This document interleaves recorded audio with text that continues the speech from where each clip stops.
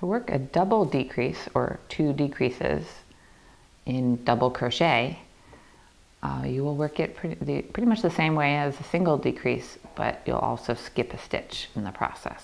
So I'll show you.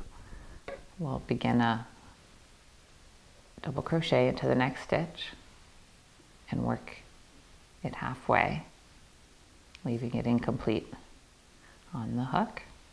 And then do and then starting over as if I'm doing a new double crochet, but this time skipping a stitch. I'll go into the next one here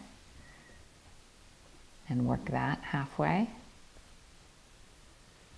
And then I will draw, do a yarn over and pull it through all of the stitches remaining on the needle, all three.